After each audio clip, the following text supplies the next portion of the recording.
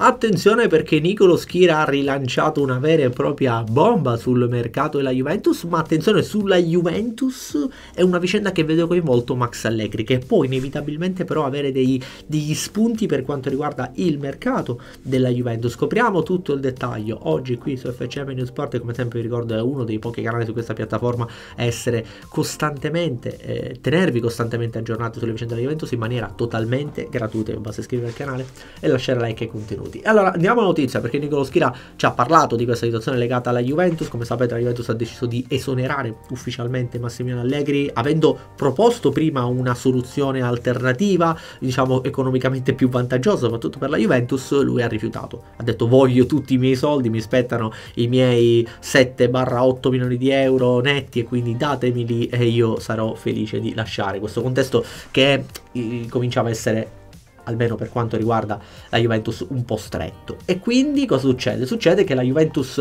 eh, deve in qualche modo pagare questi soldi, ma la speranza è che Allegri possa trovare un'altra squadra. E attenzione, che la notizia che riporta Nicolo Schira da questo punto di vista è interessantissima, perché Nicolo Schira dice che Allegri si prenderà tutti i soldi, ma attenzione, se dovesse andare a allenare in un'altra squadra, dovrebbe risolvere il suo contratto con la Juventus, o quantomeno la squadra che vuole appunto Max Allegri dovrebbe pagare qualcosa alla Juventus per liberarlo dal suo contratto, perché Allegri rimarrebbe un dipendente alla Juventus, Allegri non può prendere soldi alla Juventus e contemporaneamente andare in un'altra squadra e percepire un altro ingaggio.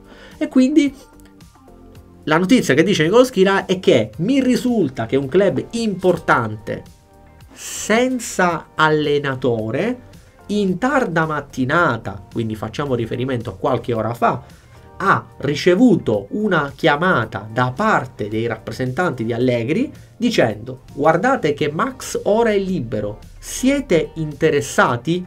Non è un club arabo, bensì uno che la prossima stagione disputerà la UEFA Champions League.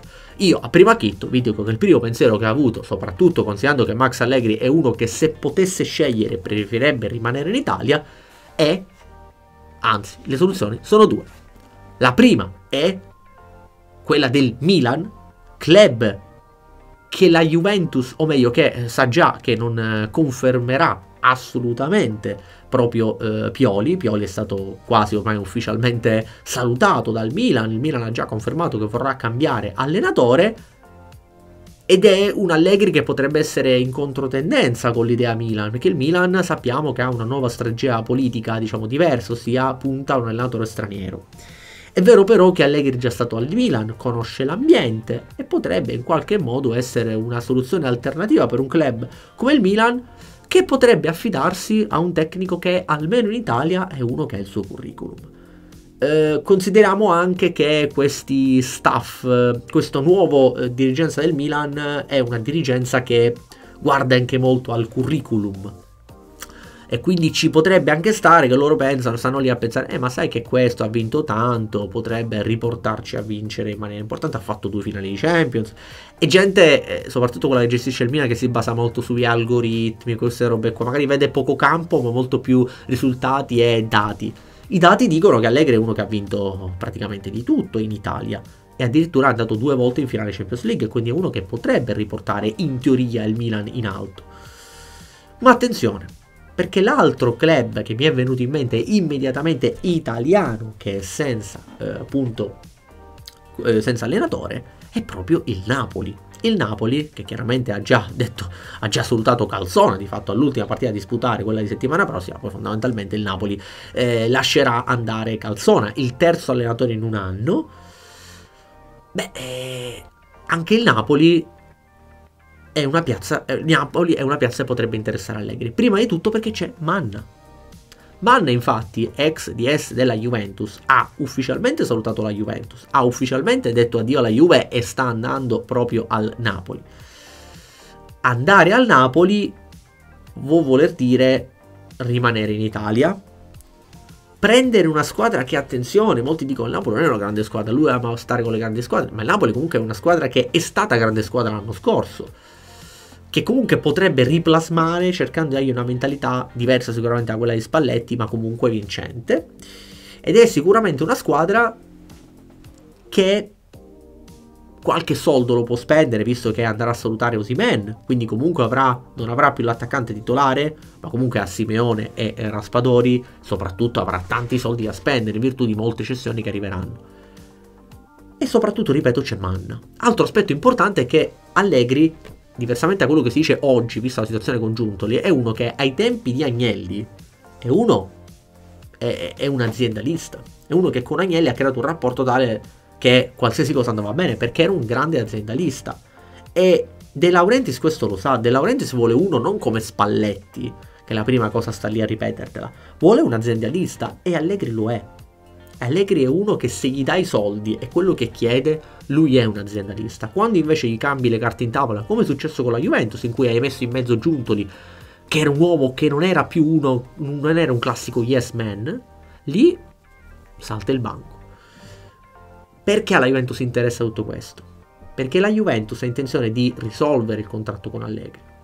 E finché Allegri è libero, Allegri percepisce i soldi dalla Juve. Nel momento in cui invece Allegri decide di andare altrove, a quel punto le cose cambiano, le cose inevitabilmente cambiano.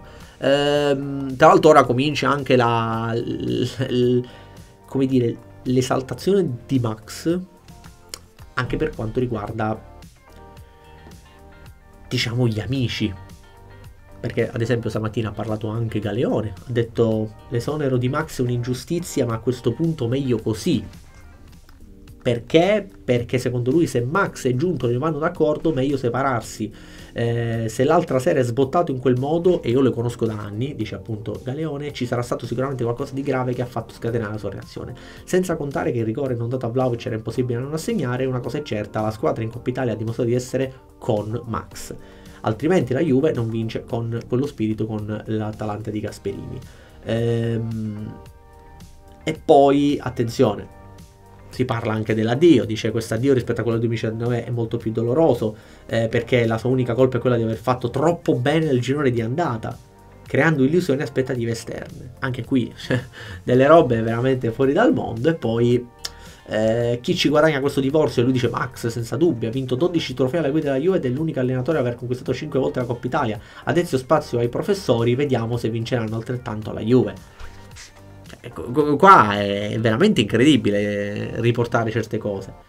Sento dire che è abile con i giovani Tiago Motta, perché Allegri non ha trasformato Cambiaso, lasciato Ildiz e migrato Ealing. Tiago Motta è bravo e sono il primo a riconoscerlo, però è anche un bel caratterino. È più esigente di Max, vedremo. Quindi cominciano le stilettate anche a quello che è un, eh, il prossimo allenatore della Juventus. E poi, attenzione, Allegri fermo, lui dice spero di vederlo in Premier, anche se il mio sogno è un altro, non il Milan, ma il Bayern Monaco, perché il Bayern Monaco è la di Germania, sono alla ricerca di un grande allenatore, Max sarebbe l'ideale per guidare que- quei talenti e per riportare un club bavarese al successo dopo l'ultima Bundesliga terminata in anticipo con appunto la vittoria di Xabi Alonso. Quindi quindi si parla anche del, del, Bayern Monaco. Quindi l'idea che mi ero fatto io era quella di, di una squadra italiana ma il suo amico Caleone lo spinge anche verso la Bundesliga e quindi il Bayern Monaco per tornare a vincere facile, diciamoci la verità.